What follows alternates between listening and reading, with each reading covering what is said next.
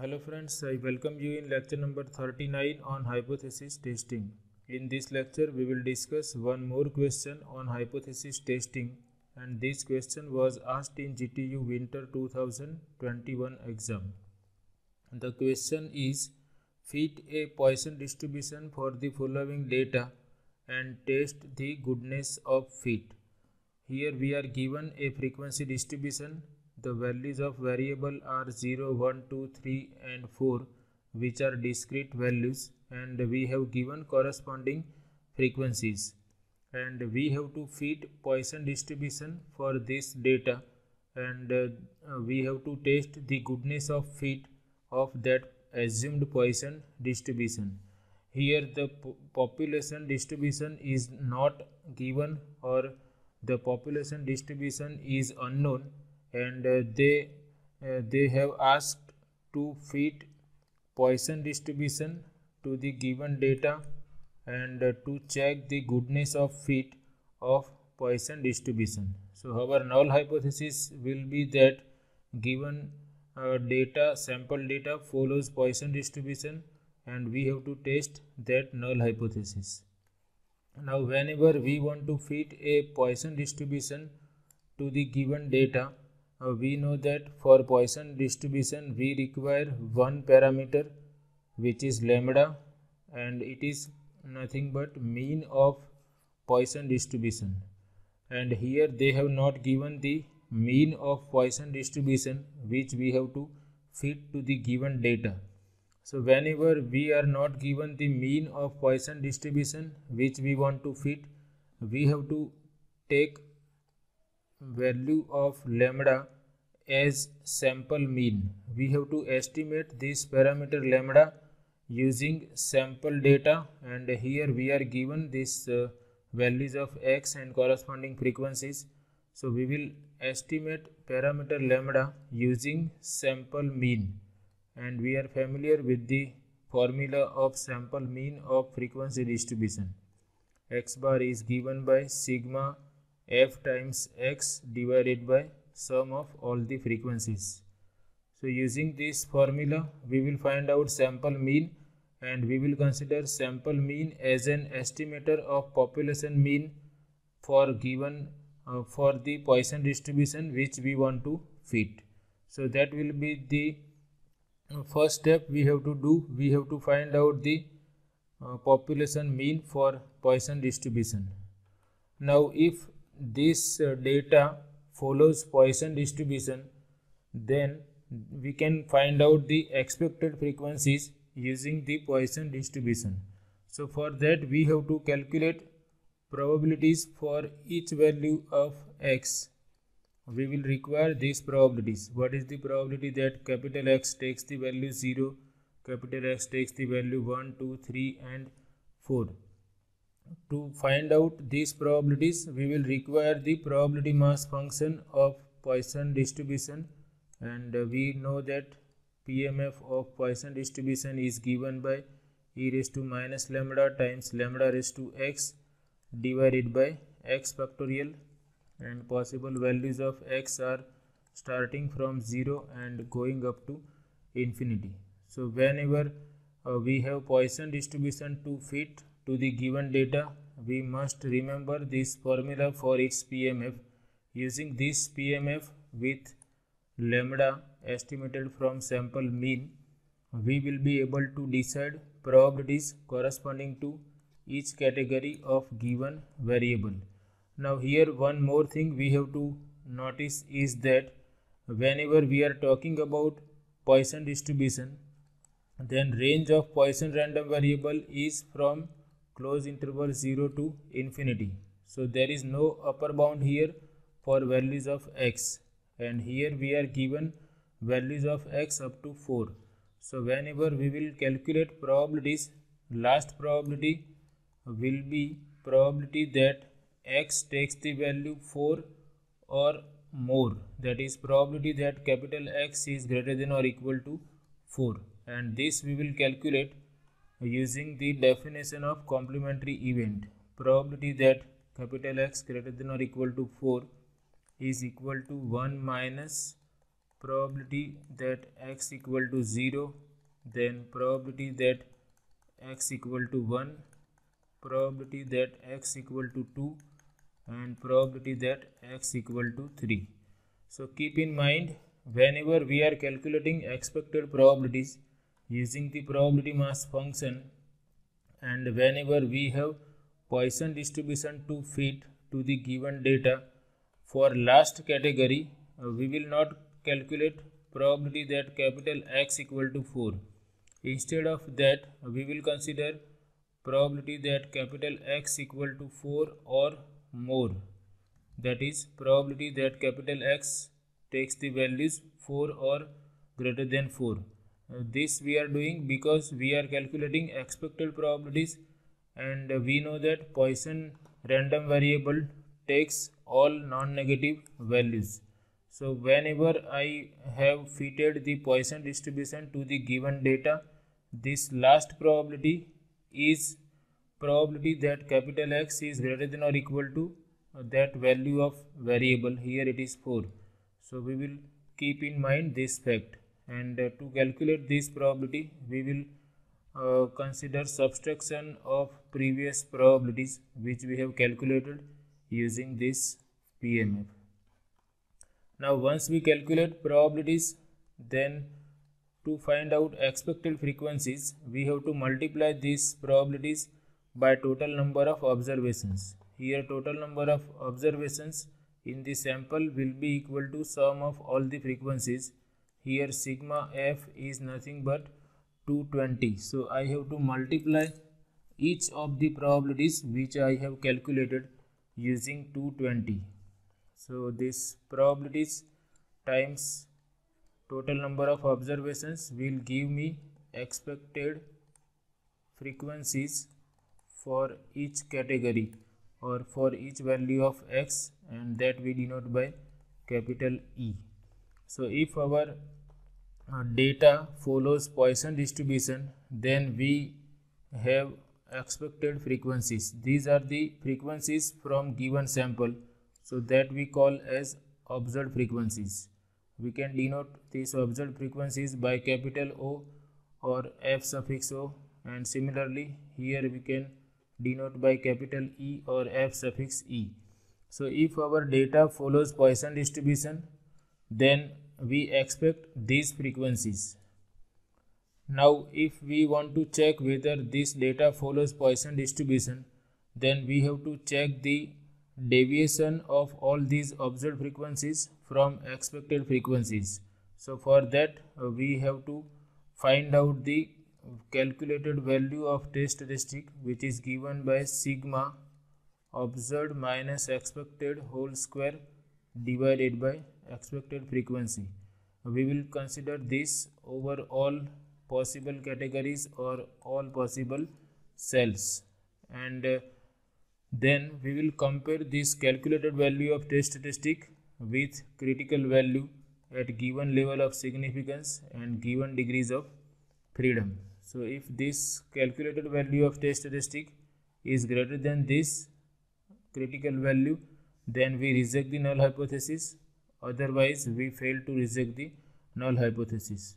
One more thing we recall is that once we calculate expected frequencies we should check that all the expected frequencies are greater than 5 if any expected frequency for any category is less than 5 then we have to combine that category with adjacent or neighboring category so that we have all the expected frequencies are more than 5 we have done one problem related to this in the goodness of fit test and this is second problem for fitting of Poisson distribution using goodness of fit test.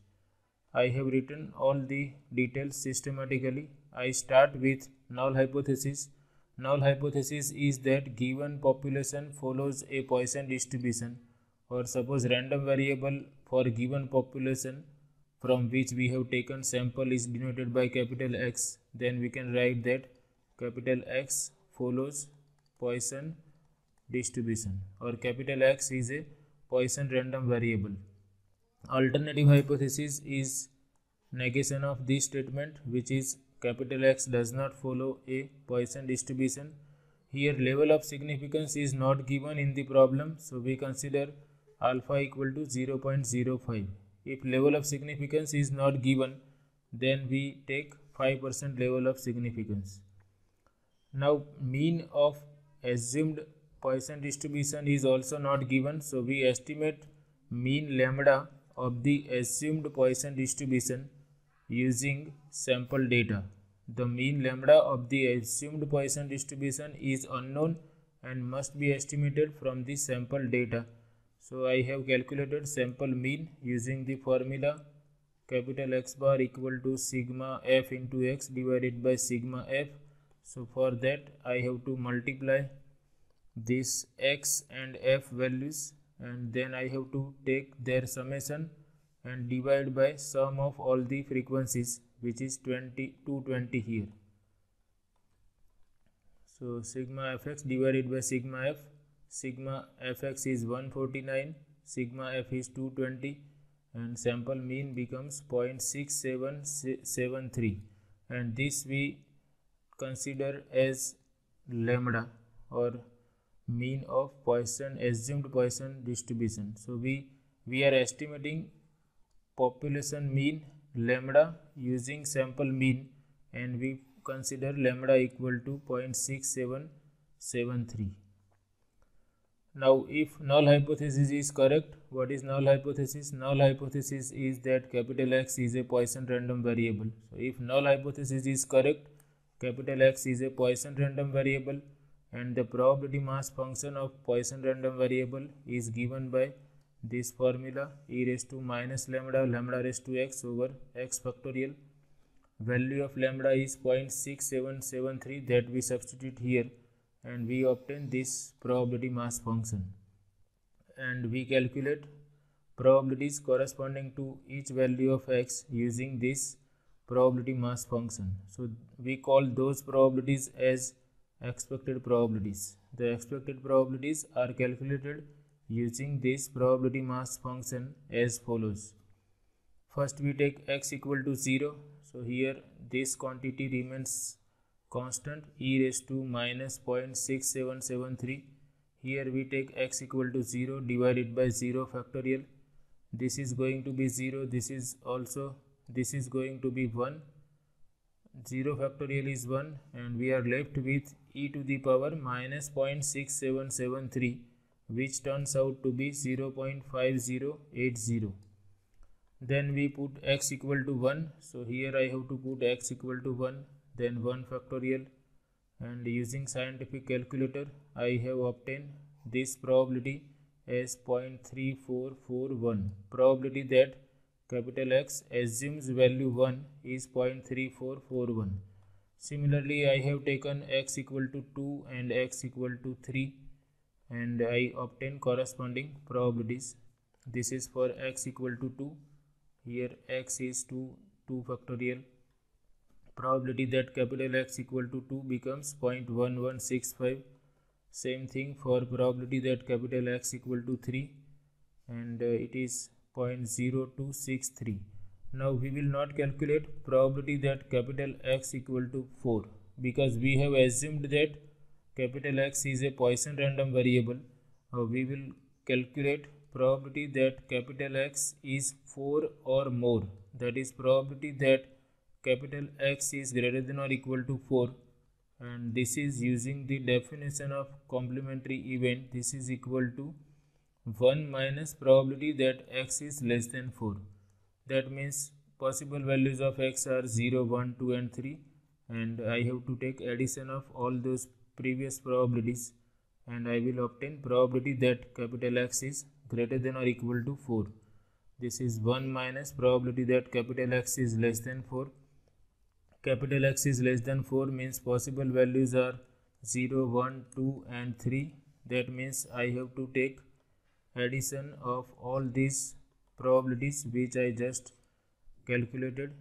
I am adding all these probabilities and subtract them from 1 and uh, I obtain probability that capital X greater than or equal to 4 is 0.0051 and I have written all these expected probabilities in this table. First column is for number of categories. There are 0, 1, 2, 3, 4 or more. These are different categories or values of given variable x.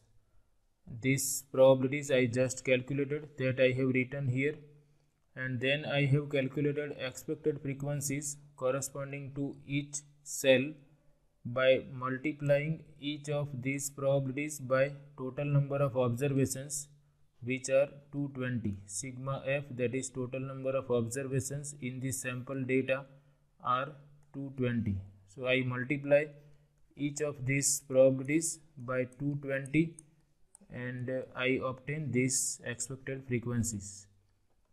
If we want to cross check whether all these frequencies are correct or not we can take summation of all these frequencies and it must be equal to 220 here i have calculated all these expected frequencies and if i take their sum i obtain exactly 220 that is that is my calculations are correct. Now once we calculate expected frequencies we should check whether there is any frequency which is less than 5 so here you can observe that this frequency in the last cell is less than 5 so I have to combine this last category with its previous category. I have to combine these two categories because this is less than 5 and remaining are greater than 5 so I have to combine this in this way. My last cell will be now 3 or more. That means I will add these two and uh, I have to add these two frequencies for observed data also. So this is very important uh, step.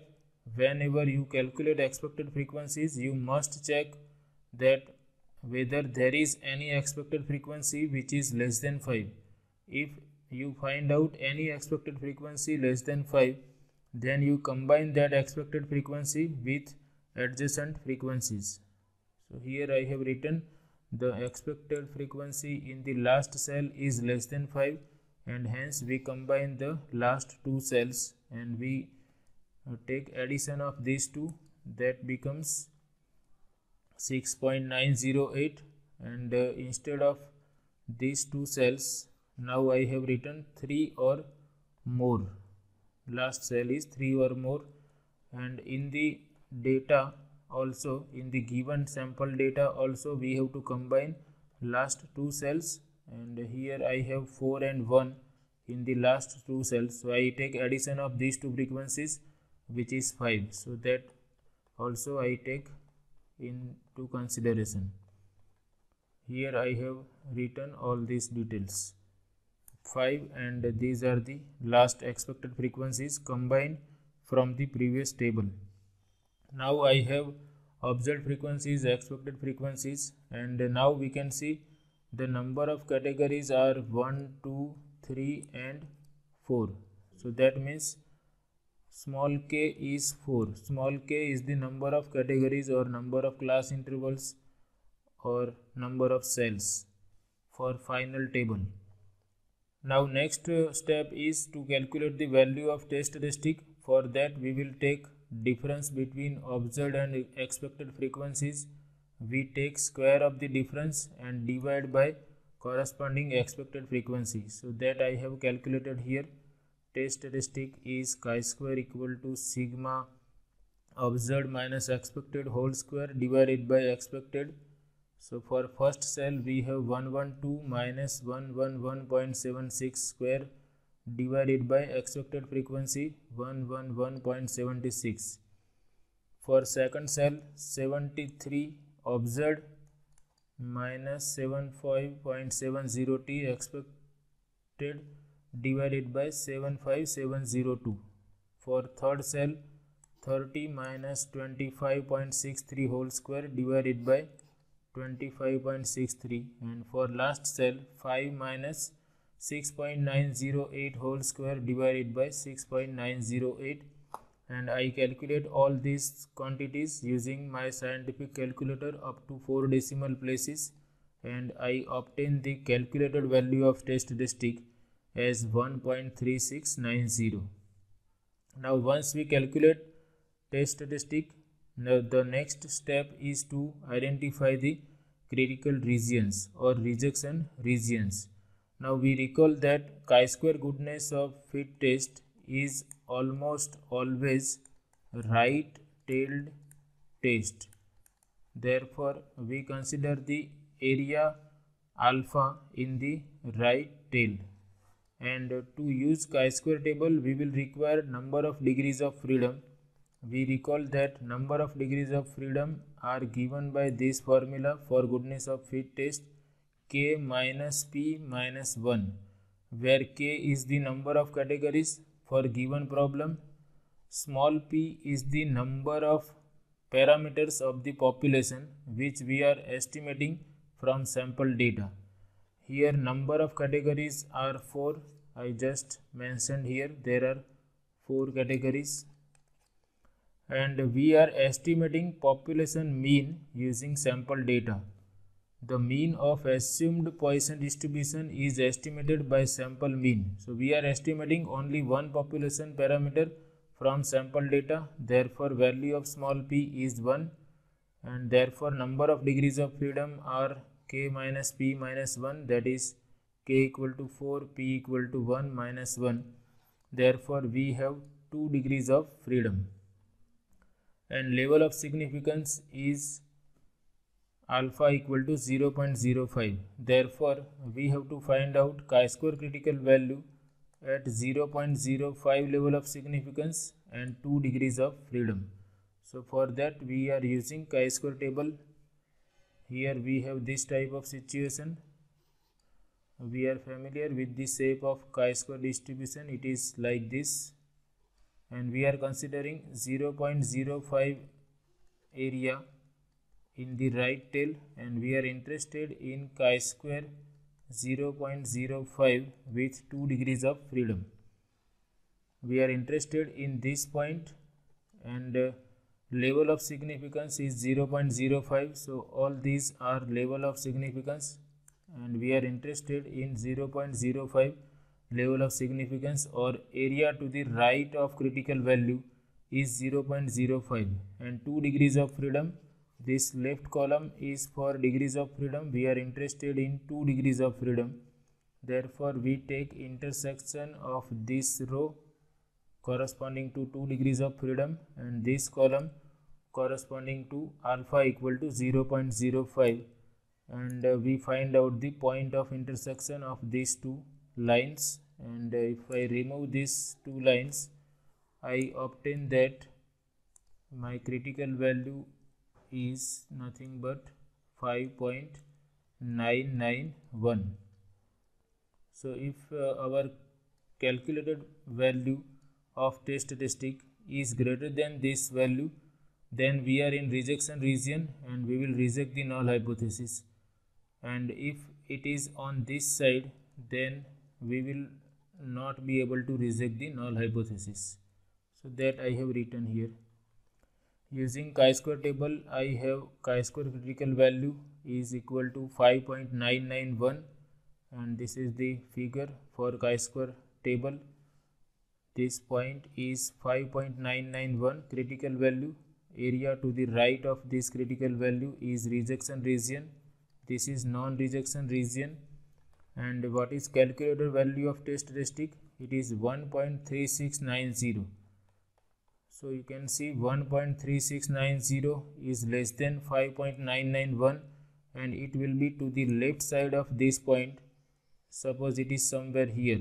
So this is chi-square test statistic value 1.3690 and you can see it is in non-rejection region so therefore we fail to reject the null hypothesis now chi-square calculated value of test statistic is less than 5.991 therefore we fail to reject the null hypothesis. And null hypothesis is that capital X follows a Poisson distribution. And what is alternative hypothesis is that capital X does not follow a Poisson distribution. So we fail to reject the null hypothesis Therefore, we can write our conclusion in this way. There is no evidence at the 5% level of significance to suggest that capital X does not follow a Poisson distribution. So in this way we can easily apply goodness of fit test to fit a given distribution to the given sample data. Whenever we are applying goodness of fit test, we don't know what is the probability distribution of given population. So we assume that given population follows some population, some probability distribution and then we test the goodness of fit for that distribution using this chi-square test. So this is all about this session. I hope you like it. Thanks for watching.